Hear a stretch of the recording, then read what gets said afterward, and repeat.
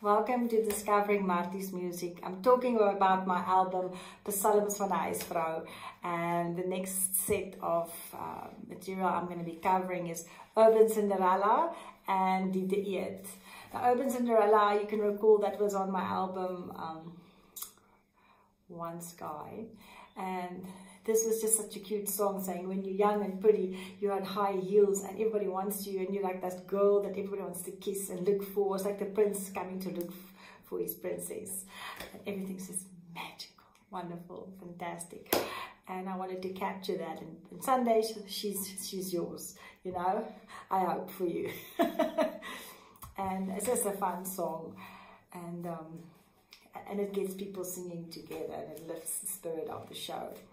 Um, Die Diet is a, a, poem I wrote and it's about being skinny, but not skinny on the outside, skinny on the inside. You're forever trying to be perfect and change yourself to fit in with what you perceive to be needed to fit in. And, and uh, the, the diet is like, oh, I think I lost two kilograms. I mean, point two, you know, and doesn't matter because you're from Mars, Mars and I'm from Venus. And then at the end, the one line that always sticks to you, you know, always one line that sticks to you, is, uh, will you see me? The one um, that's just skin and bones, even though I'm fat on the outside or perceived as fat. Um, on the inside, I'm, I'm skinny because I need love. So there you go.